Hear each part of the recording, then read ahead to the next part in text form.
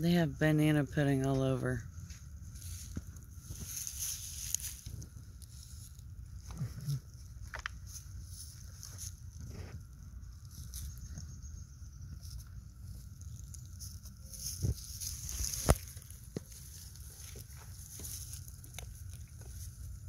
Yeah, those aren't white spots of fur. They're banana pudding spots.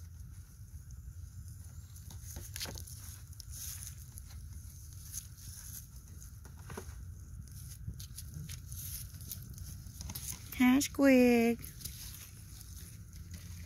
Lenny, you are a mess. You're a mess, Lenny guy. Earl.